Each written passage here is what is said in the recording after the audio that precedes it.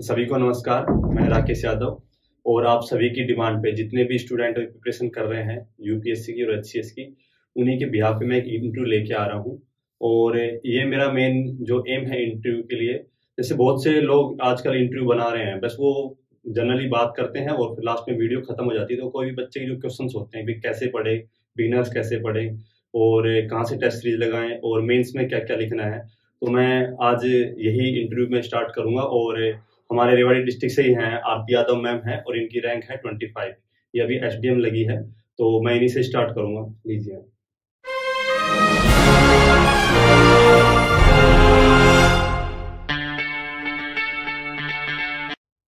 Thank you तो मुझे तैयारी करते हुए तीन साल हो गए हैं एक्चुअली तो मैं यूपीएससी की तैयारी कर रही थी, फिर साथ में एचसीएस की वैकेंसी निकली तो मैंने फॉर्म भरा। तो जहाँ तक सिलेबस में डिफरेंस आता है तो एचसीएस और यूपीएससी का सिलेबस बहुत ज़्यादातर ओवरलैपिंग है। एक डिफरेंस जो है वो एक हरियाणा जीके में आता है। तो हरियाणा जीके के हम देखते हैं सिर्फ़ दो से तीन सवाल ही आते हैं। हाँ। तो वो बहुत आपको बर्डन लेने की ज़रूरत नहीं है। अगर आप ऑलरेडी यूपीएससी की तैयारी कर रहे हो तो आप बिल्कुल निश्चिंत होकर एचसीएस के लिए जा सकते हैं एग्ज़ाम के लिए बैठ सकते हैं। जहाँ तक हरियाणा जीके की बात तो आप कोई भी मार्केट से एक बुक खरीद के एक सिंपल सी बुक दो सौ ढाई सौ पन्नों की वो पढ़ हाँ। सकते हैं उससे आप सवाल निकाल लेंगे। तो प्रीलिम्स की अगर हम बात करें तो वो पूरा एमसीक्यू पैटर्न पे हमारा पेपर आता है। और हम क्वेश्चंस की क्वालिटी देखें तो दो मैंने दो प्रीलिम्स के पेपर दिए अभी जो 21 में हुआ था वो भी दिया फिर जो कैंसिल हो गया दोबारा हुआ वो भी दिया। तो दोनों मेरे क्लियर थे। तो दोनों में मैंने देखा कि ओवरलैपिंग है एचसीएस और यूपीएससी दोनों के क्वेश्चन की क्वालिटी में। ठीक है। तो उसमें कोई आपको कुछ अलग करने की ज़रूरत नहीं है। लेकिन एक ही मैं चीज़ कहूँगी कि आप प्रैक्टिस मॉक ज़रूर दें। अगर आप प्रीलिम्स की तैयारी कर रहे हैं तो दस पाँच जितने आपका मॉक दे सकते हो उतने मॉक दें। हम्म। उससे आपको अपनी एक्यूरेसी पता चल जाती है क्योंकि बहुत सारे क्वेश्चन में आपको गैस करना ही पड़ेगा। तो उससे आपको ये समझ आएगा कि पचास क्वेश्चन करें कि साठ करें कि सत्तर करें। जैसे मैम बच्चों का क्वेश्चन रहता है कि जो स्टार्ट है बिल्कुल स्टार्टिंग से शुरू कर रहे हैं। जैसे कुछ बच्चे यूपीएससी की तैयारी कर रहे हैं मेरे पास भी तैयारी कर रहे हैं। तो वो क्या है जैसे नोट्स ले लिए या कहीं से ऑनलाइन कोर्सेज ले लिए। बट वो ये कंफ्यूज रहते हैं कि कहाँ से, कैसे पढ़ना है? जैसे सपोज़ करंट अफेयर है तो करंट अफेयर की विजन की मैगजीन भी आती है, दृष्टि की भी आती है, और बहुत से इंस्टीट्यूट भी निकालते हैं, अपने इंग्लिश मीडियम बाजीराव की भी आती है, ठीक है? तो उनको ये कन्फ्यूज़न रहता है कि पूरा पढ़ना है, कैसे पढ़ना है, कितना पढ़ना है, कितना हमें प्री में काम आएगा, अगर इतना हेल्थी लेंथी मटेरियल आ रहा है हमारे पास, और मेंस में उसका क्या रोल रहता है, और इंटरव्यू में उसका क्या रोल रहता है? फ़र्स्ट क्वेश्चन तो हमारा ये आता है।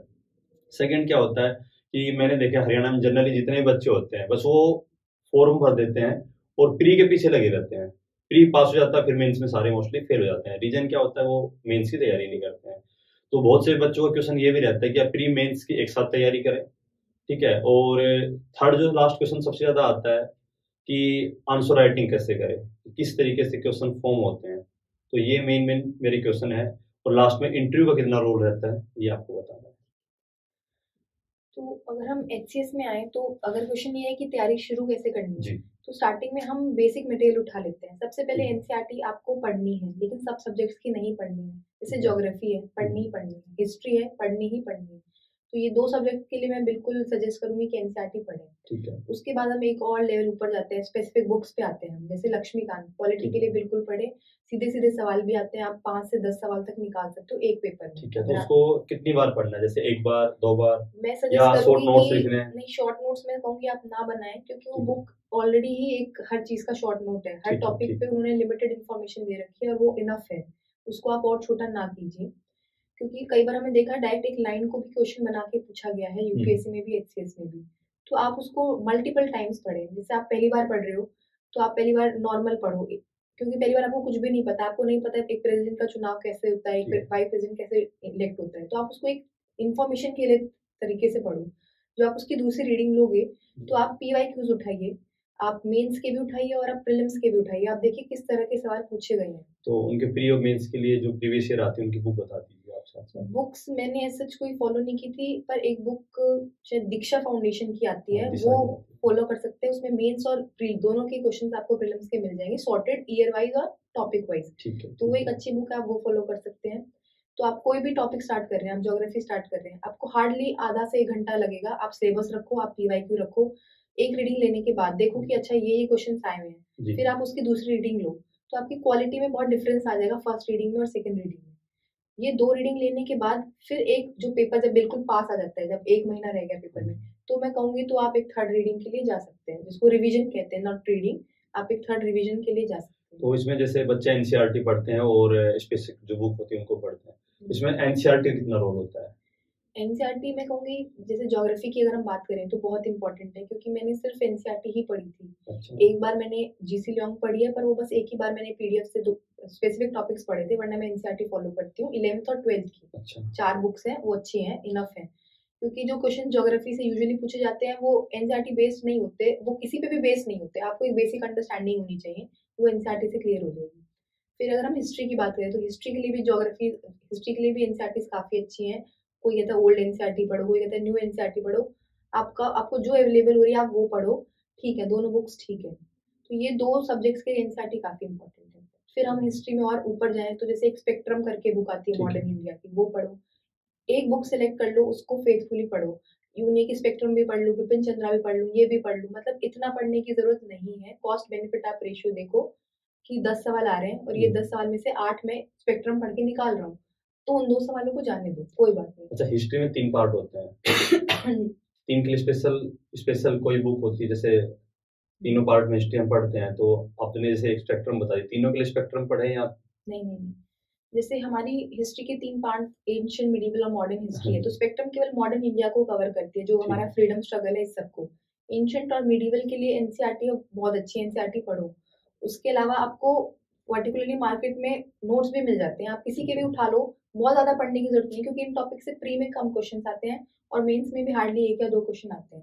मैं वही कह रही हूँ आप कॉस्ट बेनिफिट रेशियो देखो कि आपने एक 700 पन्नों की किताब पढ़ी है लेकिन सवाल उससे सिर्फ़ एक आया है। ठीक है। तो वो नहीं है मतलब अगर आप पॉलिटी पढ़ते हो लक्ष्मीकांत पढ़ते हो वो 500 या 600 पेजेस की शायद हम्म, तो आप देखोगे उससे आठ या दस सवाल आपके बन जाएँगे। तो वहाँ पे फ़ायदा है वो किताब पढ़ने का। जहाँ पे एक सवाल आ रहा है वहाँ पे फ़ायदा नहीं है।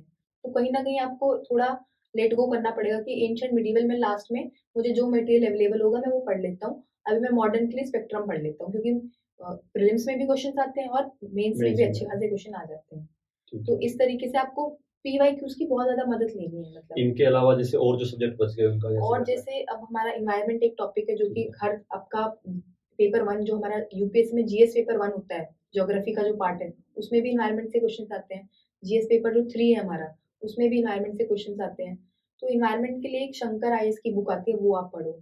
उसके अलावा करंट पे बहुत ज़्यादा फोकस करो क्योंकि अब इन्वायरमेंट हर जगह पे न्यूज़ में है। सबमिट्स होते हैं कॉप जो होते हैं हमारे वो तो होते हैं। करंट अफेयर के लिए फिर क्या पढ़े? करंट अफेयर्स के लिए मैंने पर्सनली न्यूज़पेपर को बहुत अच्छे से फॉलो किया है। मैं. न्यूज़पेपर पढ़ती थी इंडियन एक्सप्रेस Indian और उसके. नोट्स बनाती थी। और मैंने प्री में भी और मेंस में भी मैंने अपने वही नोट्स पढ़े हैं। बहुत सारे बच्चे नोट्स नहीं बनाते वो न्यूज़पेपर पढ़ते हैं। सिर्फ़ नोट्स के लिए वो मंथली मैगजीन्स के लिए जाते हैं। जैसे कोई भी विजन आयस हो गई राउस की भी आती है वाजीराम की सबकी आती है। तो ऐसा नहीं है कि आपने वाजीराम की पढ़ ली और आपने विजन आयस की नहीं पढ़ी तो आप कुछ आपका कुछ मिस हो गया। आप बस टाइम इतना ही है कि आप एक ही मैगजीन फॉलो कर सकते हो। तो वो आप करो। मैगजीन मैं नहीं कहूँगी बुरी चीज़ अच्छी चीज़ है क्योंकि आपको एक टॉपिक के बारे में उसका बैकग्राउंड भी पता चलता है मैगजीन से उसका वे फॉरवर्ड भी पता चलता है। है। न्यूज़पेपर में आपको सिर्फ़ करंट में क्या हो रहा है ये पता चलेगा। लेकिन मैगजीन से आपको उसका पीछे का क्या है और वे फॉरवर्ड क्या है दोनों चीज़ें पता चल जाएगी। तो एक मैगजीन फॉलो कर सकते हैं बच्चे। ठीक है। अब जैसे हम मेंस में जाते हैं तो मेंस में जैसे इंग्लिश आ रही है हिंदी आ रही है जीएस आ रही है और एक ऑप्शनल आ रहा है। यही है सौ सौ दो सौ दो सौ ऐसे हम्म। करके। तो हिंदी इंग्लिश के लिए कौन सी बुक क्योंकि हिंदी इंग्लिश का भी इसमें रोल रहता है उनके मार्क्स भी जुड़ते हैं। और जो अपना ऑप्शनल हो गया वो तो मेन होता ही है जो भी सब्जेक्ट जो अपना जिस तरीके से भी लेता है। और जीएस में किस तरीके से सुनाते हैं? क्योंकि सारे सब्जेक्ट मिला के एक में ही बना दिया गया है। तो मेरे को आप चारों सब्जेक्ट का प्रॉपर थोड़ा थोड़ा बता दीजिए। एक एक बुक भी बता दीजिए ऑप्शनल को छोड़ के। सबसे पहले हम इंग्लिश की अगर हम बात करें तो हाँ। इंग्लिश में मैंने जो बुक थोड़े दिन के लिए पढ़ी थी मैंने एक वीक या दस दिन के लिए वो बुक पढ़ी थी ब्लैक बुक करके हाँ। एसएससी वाले बच्चे पढ़ते हैं। ठीक है ग्रामेटिकल हाँ तो वो ग्रामर वाला जो पोर्शन था वो मैंने उससे कवर किया था और मैंने किसी चीज़ के लिए पढ़ा नहीं इंग्लिश को क्योंकि बेसिक हम लैंग्वेज से हमारा है हम हाँ, पढ़ते रहते हैं हैं फिर हिंदी के लिए मैंने थोड़े ज़्यादा एफर्ट्स मारे थे तो हिंदी के लिए एक बुक आती है राघव सर की कुछ वो मोटी किताब है काफ़ी छह सौ सात सौ हाँ पन्ने राजस्थान से है। तो मुझे किसी ने सजेस्ट की थी तो मैंने वो खरीदी थी उसमें बहुत ज़्यादा डिटेल में दे। रखा है तो। बहुत ज़्यादा बल्कि है उसको हर चैप्टर पे मतलब बीस तीस पन्ने हैं उसपे विलोम शब्द समनार्थक शब्द हर एक पे है तो आप एक बार सिलेबस देखो या पीवाई क्यू देखो कि क्या क्या आप पूछा जाता है पेपर में कि अच्छा विलोम आते हैं। अच्छा आप थोड़ा हिंदी के बारे में बताइए किस तरीके से क्वेश्चन आ रहे हैं? मतलब ऐसे आते हैं नहीं हिंदी का मैं ये कहूँगी कि हिंदी का पैटर्न बिल्कुल सेम है। हिंदी के आप पंद्रह बीस साल पुराना भी पेपर आप एच की वेबसाइट से उठा के देखोगे वही पैटर्न आज है। तो हिंदी में आपको मतलब आपको सरप्राइज़ नहीं होगा कि अरे ये क्या पूछ लिया। अगर आप एक दो पेपर्स देख लोगे पुराने तो आपको बिल्कुल समझ में आ जाएगा कि इस तरह के सवाल पूछे जा रहे हैं। बहुत बेसिक है। एक आपको ऐसे लिखना आता है तीस मार्क्स का। तो मैं यूँ कहूँगी जो बच्चे हिंदी बैकग्राउंड से नहीं है वो पेपर से पहले एटलीस्ट तीन से चार ऐसे लिखने की घर पे प्रैक्टिस करें। और एक वो चीज़ जो हिंदी के लिए कर सकते हैं वो है वो न्यूज़पेपर पढ़ना एक हिंदी का स्टार्ट कर दें।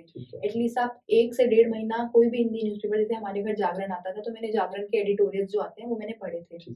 उससे हमको क्या होता है कि जो हमारे बेसिक बेसिक टर्म्स होते हैं जो हमें इंग्लिश में तो पता होते हैं लेकिन हिंदी में हमें उनका मतलब नहीं पता होता। वो आपको पता लग जाता है। तो ऐसे बहुत वेटेज है ऐसे कि थर्टी मार्क्स मतलब प्रॉब्लम तो दोनों मीडियम्स को रहती है। इंग्लिश वाले को हिंदी में रहेगी हाँ, हिंदी वाले को इंग्लिश में रहेगी भाई ये जो बच्चे जिनका बैकग्राउंड हिंदी में है उनको एडवांटेज हो जाएगा हिंदी में। इंग्लिश में उन्हें थोड़ी प्रॉब्लम आएगी तो वो दोनों तरफ़ है मतलब हिंदी वालों को उधर आएगी। तो जिनको हिंदी में प्रॉब्लम है वो ये चीज़ ज़रूर करें कि न्यूज़पेपर पढ़ लें एक से डेढ़ महीना तक। और कुछ टॉपिक्स होते हैं कि हमारा हेल्थ पे एक ऐसे आ सकता है या हमारा इन्वायरमेंट पे एक ऐसे आ सकता है। तो ऐसे टॉपिक्स पे पहले से वो एक पन्ने पे हेल्थ के हिंदी में वर्ड्स लिख लें। कि हेल्थ को हिंदी में क्या कहते हैं न्यूट्रिशन को हिंदी में क्या कहते हैं क्लाइमेट चेंज को हिंदी में क्या कहते हैं तो वो एक अपनी पर्सनल डिक्शनरी बना लें ताकि वो ऐसे में किसी भी टॉपिक पे अगर ऐसे आता है तो उनको ज़्यादा दिक्कत ना हो। मतलब जो डेली न्यूज़पेपर पढ़ रहे हैं उसमें जो मीनिंग्स होते हैं वो वहाँ पे काम रख ले। हाँ। कि जैसे इन्वायरमेंट पे पढ़ा था जलवायु परिवर्तन बोलते हैं क्लाइमेट चेंज को लिख लिया कि जलवायु परिवर्तन। तो हर टॉपिक पे 20 से 25 आप अपने वर्ड्स जो बेसिक हिंदी जिनका मतलब जो होता है वो आप लिख लीजिए वो आपको इजीली यूज़ हो जाएगा इससे में क्योंकि थर्टी मार्क्स है आप कोशिश करोगे तो आप अच्छे मार्क्स गेन कर सकते हैं। सेम इंग्लिश में भी ऐसा ही होता है? सेम इंग्लिश में भी ऐसा इंग्लिश में भी तीस मार्क का एक ऐसे आता है। तो अब जिन बच्चों को प्रॉब्लम है वही इंग्लिश में जिनका बैकग्राउंड हिंदी से है तो वो भी यही कर सकते हैं कि वो एक डेढ़ महीना पहले हिंदी में इंग्लिश के वो टॉपिक्स चूज़ करें। जैसे हेल्थ पे अगर ऐसे आएगा तो हेल्थ में क्या होता है सस्टेनेबल डेवलपमेंट गोल्स को क्या ये सब सारी चीज़ें वो एक बना के रख लें। मतलब यही है कि ग्रामर एसएससी वाली आनी है। ग्रामर एसएससी वाले नहीं बहुत बेसिक कई चीज़ें तो आपको पढ़ने की भी ज़रूरत नहीं पड़ेगी वो आपको बचपन में स्कूल वाले से मुहावरे हैं। ठीक है, ठीक शायद दस या पाँच मुहावरे पूछे जाते हैं।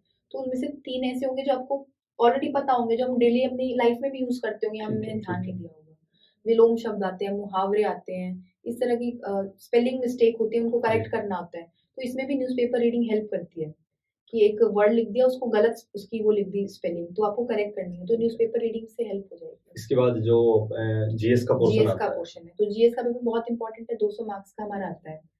तो अगर आप पहले से यूपीएससी की तैयारी नहीं कर रहे हो तो फिर आप क्या कर सकते हो कि आप कोई बेसिक बुक उठाओ जैसे लोग लूसेंट पढ़ते हैं। लूसेंट में हर चीज़ के बारे में थोड़ा थोड़ा दे रखा है। इंडिया के इंडिपेंडेंस के बारे में भी दे रखा है एंशियंट मिडिवल के बारे में भी दे रखा है। तो जो चीज़ें आप डिटेल में नहीं पढ़ सकते उनको आप लूसेंट से कवर करो। जैसे कि एंशंट और मिडिवल हिस्ट्री जो है वो आप लूसेंट से कवर कर लीजिए। उसके अलावा करंट से भी जीएस में आता है। जैसे अभी मेरा पेपर था तो हम भी आई एन एस विक्रांत हमने वो किया था तो आई एन एस विक्रांत पे क्वेश्चन आया science and technology science and technology के भी क्वेश्चन आते हैं। कोई रिसेंट में सबमिट हुआ है उस पर भी आया था। मेरे में अकबर के टाइम पे मनसबदारी सिस्टम होता था वो क्वेश्चन हम्म, आया था। हिस्ट्री से आया था। तो हिस्ट्री पढ़ो आप अगर आप स्पेक्ट्रम पढ़ सकते हो तो पढ़ लो क्योंकि वो लेंदी बुक है और टाइम अभी कम है। नहीं पढ़ सकते तो कोई ऐसी बुक जैसे लूसेंट टाइप जिसपे समरी में दे रखा हो आप समरी से कवर कर लो। कि एटलीस्ट हर टॉपिक पे आपको थोड़ा सा पता हो। हाँ, दृष्टि आईएएस की आती हाँ, किसी की भी मुझे सिर्फ़ लूसेंट बताया तो मैं लूसेंट बता रही हूँ कोई भी पढ़ सकते हैं बच्चे अपनी पसंद से जो अवेलेबल हो जो उनको प्राइस वाइज भी ठीक लगे। तो थोड़ा थोड़ा जो जो भी टॉपिक है एक बार सिलेबस बिल्कुल देखें मतलब अंधे होके नहीं पढ़ना है सिलेबस उठा के ही पढ़ना है। कि अगर सिलेबस में मुगल्स के बारे में दे रखा है तो आप मुगल्स के बारे में पढ़ो।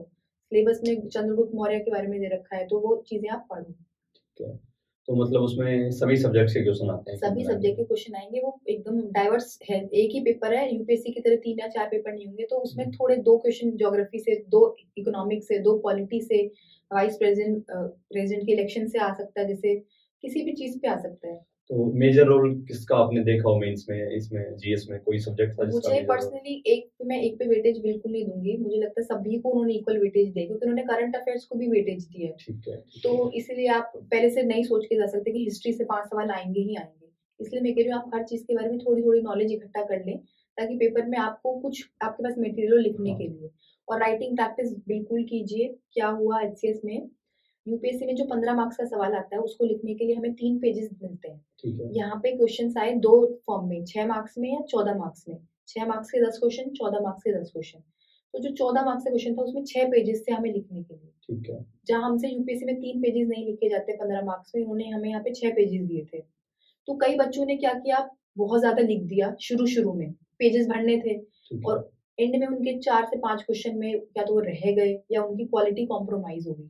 तो वो फिर आप पहले से इस चीज़ को दिमाग में लेके चले कि भाई हमारे छह पेजेस आएँगे वर्ड लिमिट इतनी आएगी उस हिसाब से हम आंसर राइटिंग की प्रैक्टिस करें। जैसे हम सभी मोस्टली यूपीएससी की तैयारी कर रहे थे हम तीन पेजेस की हमें हैबिट थी तो वहाँ हम सबको छह पेजेस मिले तो हम सभी शॉक हो गए और काफ़ी बच्चों को इस चीज़ का लॉस भी हुआ। हम्म, तो इस चीज़ का ध्यान रखें। अब ये हो गया हमारा जीएस का पेपर अब ऑप्शनल है। तो ऑप्शनल आप सोच समझ के चूज़ कीजिए जिन्होंने नहीं किया हाँ बहुत से बच्चे कंफ्यूज रहते हैं ऑप्शनल में कि क्या लें। जैसे ऑप्शनल चूज़ करने के दो से तीन तरीके हैं कि आप किस बेसिस पे ऑप्शनल चूज़ करते हैं। जैसे मैंने ऑप्शनल चूज़ किया था मेरा उसमें बैकग्राउंड था। मेरा ऑप्शन जूलॉजी था तो मैंने ग्रेजुएशन और पोस्ट ग्रेजुएशन किया है जूलॉजी में। हम्म, तो मुझे वो ईज हुई मेरे पास मटेरियल अवेलेबल था मैंने पढ़ा हुआ है वो सब्जेक्ट इसलिए मैंने वो सब्जेक्ट चूज़ किया। कई बच्चे ऐसा सब्जेक्ट चूज़ करते हैं जिनमें उनका बहुत ज़्यादा इंटरेस्ट होता है। जैसे किसी को पढ़ना है सोशियोलॉजी की क्या है सोसाइटी क्या चीज़ें फॉर्म होती है कैसे क्या होता है। तो कई चीज़ें कई लोग इंटरेस्ट के बेसिस पे चूज़ करते हैं।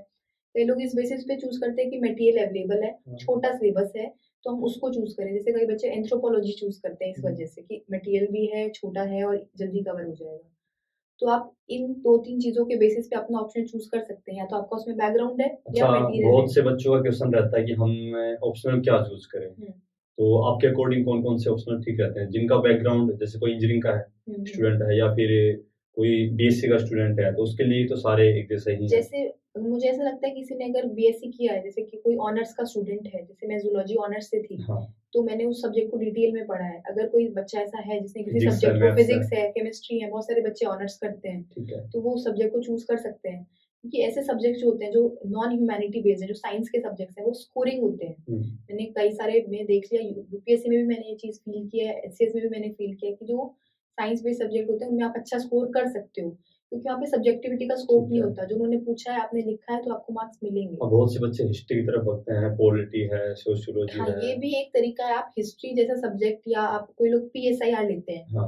पॉलिटिकल साइंस और ये वाला जो सब्जेक्ट हाँ। है इसका बेनिफिट ये है कि ओवरलैपिंग है आपके जीएस से कि इससे आपका जीएस की भी प्रिपरेशन हो जाएगी और आपके ऑप्शनल की भी प्रिपरेशन हो जाएगी। तो ये भी एक अच्छा तरीका है ऑप्शनल चूज़ करने का इसमें कोई दिक्कत नहीं है। आपका पर्सनल इंटरेस्ट भी है आपको जीएस में भी हेल्प होगी और आपको ऑप्शनल में भी। अगर आपका ऑलरेडी कोई मन नहीं बना हुआ है तो आप ऐसे सब्जेक्ट्स के लिए जा सकते हैं जैसे हिस्ट्री पी बहुत सारे बच्चे पी एस आई लेते हैं क्योंकि वो जीएस पेपर टू जो हमारे यूपीएससी में है ऑप्शनल में भी काम आता है एससी में भी काम आता है हर जगह उसकी हर उसका यूज़ है। अच्छा आपने देखा हो जैसे इंटरव्यू आपके वहाँ पे चल रहे थे तो इसमें मीडियम का कितना रोल रहता है? हिंदी मीडियम इंग्लिश मीडियम जैसे एच में मैंने ये देखा कि डुअल लैंग्वेज में इंटरव्यू कंडक्ट किए गए हैं। काफ़ी हम्म। सारे बच्चों से इंग्लिश में भी पूछा गया है सवाल हिंदी में भी पूछा गया है। नहीं मैं मेरा कहने का मतलब जैसे हम आप इंग्लिश मीडियम से दे रहे हो एग्ज़ाम कुछ बच्चे हिंदी मीडियम से देते हैं। तो आपने देखा हो यूपीएससी में हिंदी मीडियम का कम आता है थोड़ा। एच तो एचसीएस में भी क्या ऐसा है? मुझे इस चीज़ के बारे में कम नॉलेज है तो मैं कमेंट नहीं करूँगी। ठीक है। लेकिन अगर आपकी तैयारी अच्छी है आपके मेंस में अच्छे मार्क्स हैं तो इंटरव्यू का रोल ऑलरेडी बहुत कम हो जाएगा। क्योंकि आप देखिए 600 मार्क्स का मेंस का पेपर है और सिर्फ़ हम्म। 75 मार्क्स का अपना इंटरव्यू है। तो अगर आपने अपनी मेहनत से मेंस में बहुत अच्छे मार्क्स स्कोर कर लिए हैं तो कोई फ़र्क नहीं पड़ता आपका मीडियम हिंदी है या इंग्लिश है। दो चार मार्क्स आपके ऊपर नीचे हो जाएँगे इससे ज़्यादा कुछ भी नहीं होगा। तो आप इसका इसको चीज़ को डर मत बनाइए कि मेरा तो हिंदी बैकग्राउंड है तो मुझे इंटरव्यू में ऑलरेडी कम मार्क्स मिलेंगे ऐसा कुछ भी नहीं है। आपके कितने नंबर आए थे इस बार इंटरव्यू कितने दिए इस वाले इंटरव्यू में मेरे 46 मार्क्स थे। 46 आए 53 हाईएस्ट तो हाँ हाई 53 या 54 ऐसे हाँ, कुछ मैंने देखा। अच्छा अब क्या होता है बच्चों का जैसे कुछ बहुत से बच्चे मेंस में भी अच्छे नंबर ले आते हैं। बट उनका इंटरव्यू में मैंने देखा कि स्कोर बहुत डाउन होता है। हम्म। ऐसा क्या रहता है कि स्कोर उनका डाउन रहता है?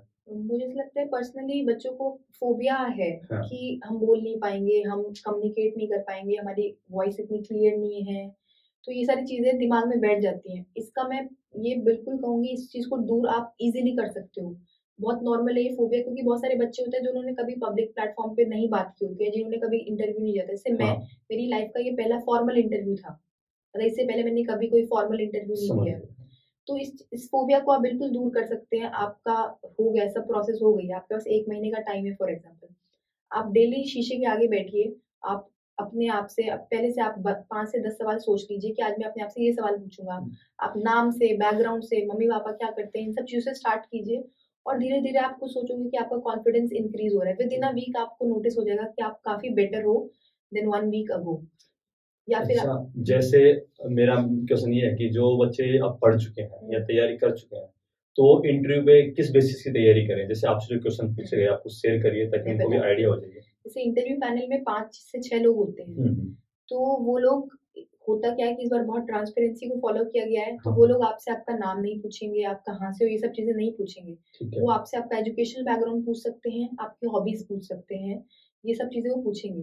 तो फॉर एग्ज़ाम्पल मुझसे मैंने अपनी हॉबी और ये सब बताया तो एक पैनलिस्ट ने मुझसे सिर्फ़ मेरी हॉबी पे सवाल पूछा।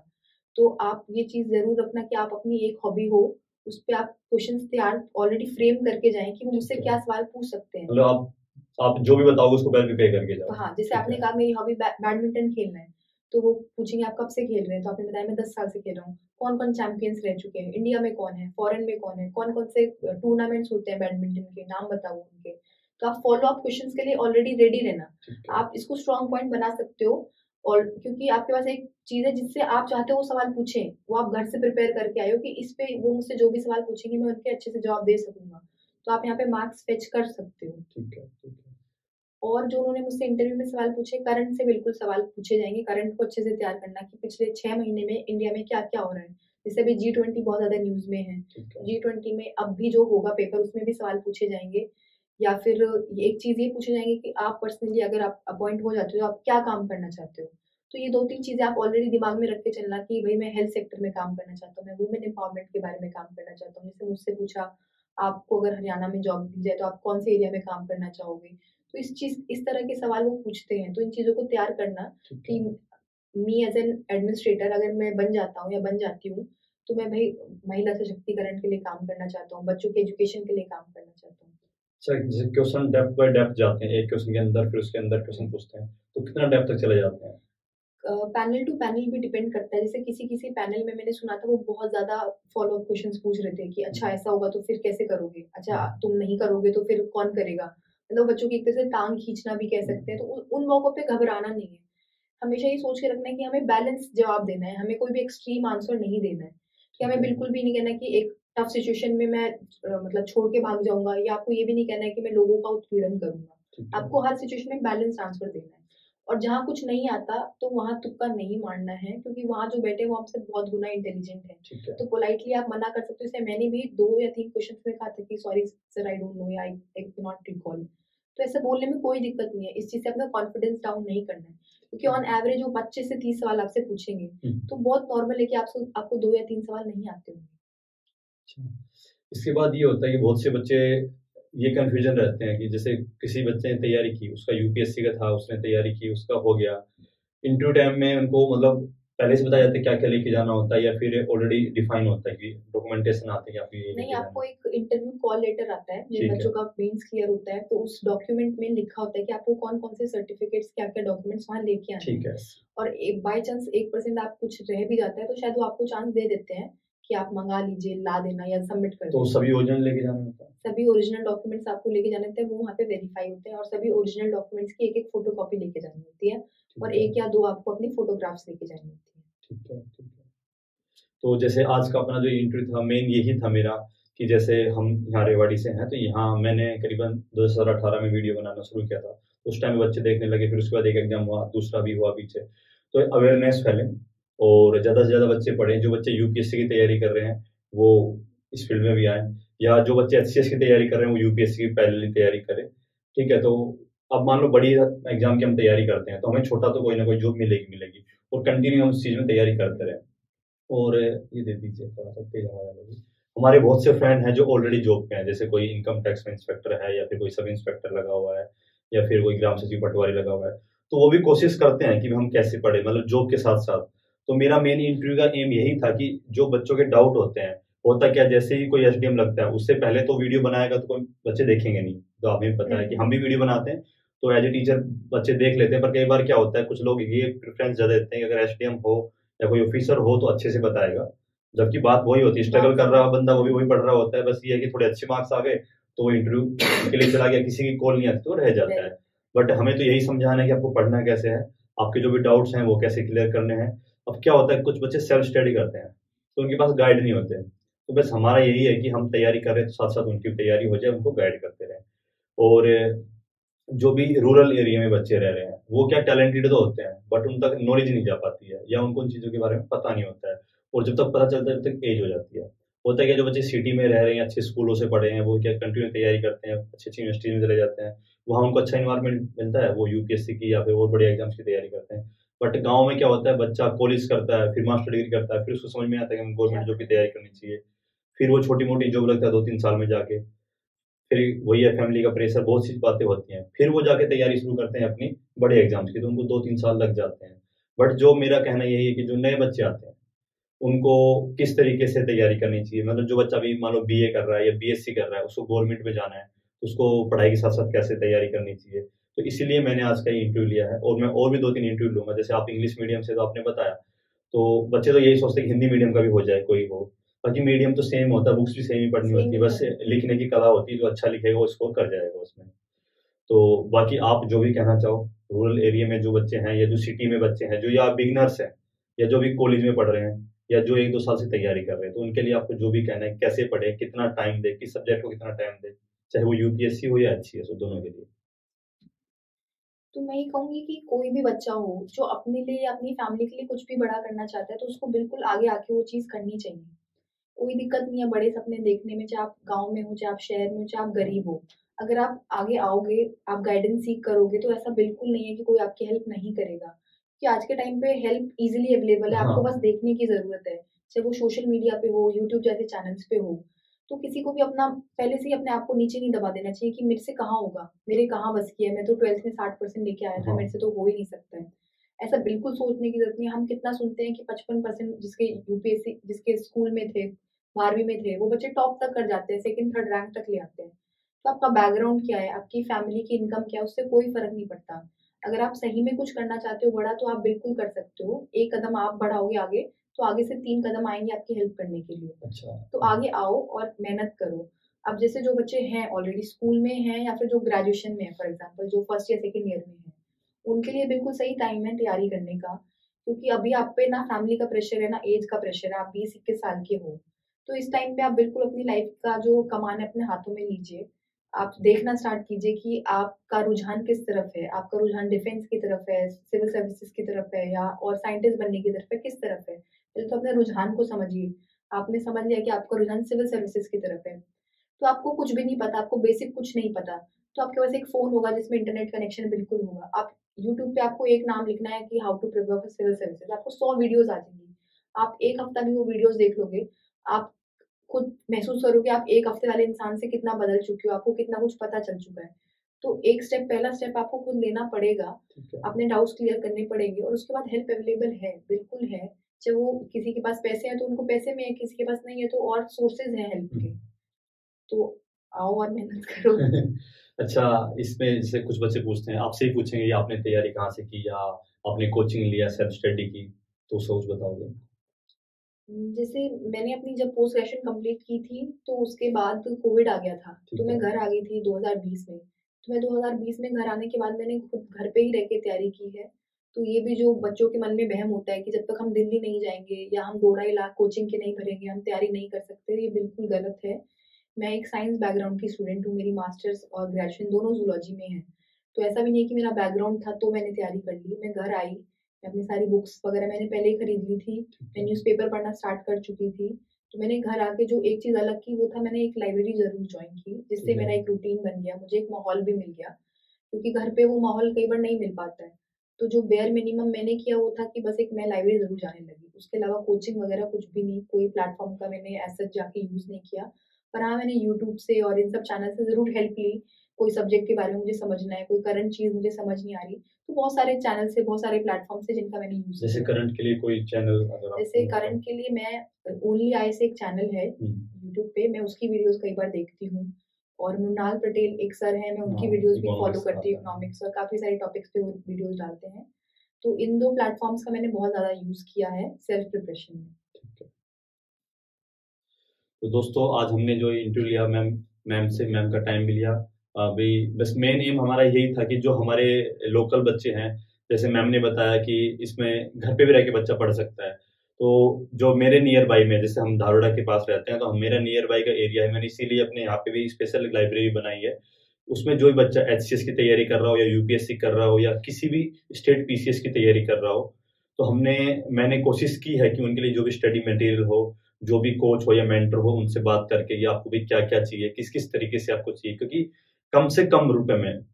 होता क्या, बहुत से गरीब बच्चे होते हैं या मीडियम बैकग्राउंड से होते हैं जिनको तैयारी करनी होती है और पैसों की इतनी अवेलेबिलिटी हो नहीं पाती जो दिल्ली जाके, ऐसा कुछ जैसे मैम ने बताया दिल्ली जाके ऐसा कुछ नहीं कि आप स्पेशल पढ़ोगे। बस हाँ टीचर हैं, वहाँ से उनसे कोर्स लिखोगे, वहाँ भी चौदह पंद्रह महीने आपके लगने हैं और आपका दस बारह हज़ार मंथली अलग से जाना है फ़ीस अलग से जानी है। तो वो चीज़ें आप यहाँ पे भी, गाँव में भी, घर पे भी बैठ के पढ़ सकते हो। जिनको घर पे पढ़ना है, घर पे पढ़ सकते हैं। जिनको भाई ऐसा है कि लाइब्रेरी जाना है तो जैसे मैं अभी तो यहाँ हमारा गाँव है, रेवाड़ी के पास में, धारवेड़ा। तो वहीं पे हमारी लाइब्रेरी भी है और मेन मैंने संदीप सर से रिक्वेस्ट की थी कि मैम आई हुई थी तो एक इंटरव्यू करवा दीजिए और मैं कोशिश करूँगा कि आपके लिए दो तीन इंटरव्यू और लेके आऊँ, ठीक है? और जैसे पिछली बार भी हमने अपनी टेस्ट सीरीज़ जारी की थी इनके लिए, प्री के लिए, प्री और मेंस। इस साल कोशिश करेंगे मेंस के लिए भी आपके लिए अच्छी टेस्ट सीरीज़ बनाए। प्री में जैसे हमने टेस्ट सीरीज़ जारी की तो करीबन दस बारह बच्चों का अच्छा स्कोर रहा, उन्होंने मेंस भी लिखा। तो इस बार भी हम कोशिश करेंगे और अगर अच्छा लगेगा तो हम आपको लिंक डाल देंगे, उसमें चार पाँच पेपर हम आपको फ्री में डाल देंगे। अच्छा लगे तो आपको, आप उसे बाई कर सकते हो, कम से कम मिनिमम रेट में हम देंगे। और जो भी स्टडी मटेरियल होगा, जैसे मैम ने जो अपनी, अभी मैं इनसे पूरी बुक लिस्ट लिखवा लूँगा, और स्पेशल एक डिजिटल बोर्ड पे अच्छे से वीडियो बना दूँगा एक्सप्लेन करके तो आप उस वीडियो को देख लेना। उसमें एक एक चीज़ को ब्रीफली मैं एक्सप्लेन करूँगा कि कौन कौन सी बुक्स होती है एनसीआरटीज कौन कौन सी पढ़नी है, या फिर जो मेन स्टडी बुक होती है, वो कौन कौन सी पढ़नी है, और ऑप्शनल किस तरीके से चूज़ करना है। वो मैं पूरी कोशिश करूँगा, मैडम से पूछ लूँगा। कि ज़्यादा टाइम अभी वीडियो में एक ही वीडियो में डालेंगे तो बहुत लेंथी वीडियो हो जाती है। तो दोस्तों, अपनी प्रिपरेशन स्टार्ट कर दीजिए। जिनका एम अभी वाला एचसीएस है, वो अभी वाला एचसीएस दीजिए। जिनका अगले अगले टर्म के लिए है, वो अभी यूपीएससी प्लस एच दोनों की तैयारी करें और धीरे धीरे टाइम देना शुरू करें। ये नहीं कि एक बार आप आज दस घंटे पढ़ रहे हो, दो चार दिन पढ़ते हो, फिर दो तीन घंटे भी आ जाओगे। आप कंटिन्यूसली चार से पाँच घंटा, चार से पाँच घंटा या छः घंटा जितना दे सकते हो जो जॉब वाले हैं वो इतना दे और जो फ्री हैं वो अपना जितना भी टाइम देना चाहते हैं, वो दे सकते हैं। जितने भी बच्चे अभी कॉलेज में हैं या अभी जैसे ट्वेल्थ के पास जिनका एम है कि हमें यूपीएससी में जाना है, वो अपने कॉलेज के साथ साथ जैसे कोई first year second year third year में है तो कॉलेज के साथ ही तैयारी शुरू कर दे। अगर जैसे एच का है, अभी तो एच का बता रहे और भी बहुत से एग्ज़ाम होते हैं तो आप पहले ये नहीं कि बैचलर डिग्री करें, फिर मास्टर डिग्री करें, उसके बाद तैयारी शुरू करें साथ साथ तैयारी शुरू करें। तो इससे क्या होगा? आप पढ़ोगे तो जितनी जल्दी आप एक जॉब लग जाओगे उसके बाद आपसे प्रेशर खत्म हो जाएगा और फिर आप नेक्स्ट जॉब के लिए जा सकते हो। ठीक है मैम? आपको कुछ कहना है? थैंक यू ठीक है तो आज की वीडियो हम यही समाप्त करते हैं और बहुत अच्छा रहा आज का इंटरव्यू और मैं कोशिश करूँगा कि और एक दो जो मेंबर एच बने हैं मैं उनके थ्रू उनसे मिलके उनसे पूछूँ कि आपने क्या क्या प्रॉब्लम फेस की और किस तरीके से एक नॉर्मल फैमिली का बच्चा प्रॉब्लम फेस करता है। जो भी प्रेशर्स होते हैं, मैं देखता हूँ कि बहुत से बच्चे भी यूपीएससी की तैयारी कर रहे हैं और उनपे बहुत सा प्रेशर होता है। ठीक है तो ये जो इंटरव्यू रहा अच्छा रहा और इसकी डिटेल हम आपको ब्रीफ में आगे दे देंगे और बुक्स लिस्ट हम बहुत जल्दी नेक्स्ट वीडियो में आपके लिए डाल देंगे। Thank you ma'am thank you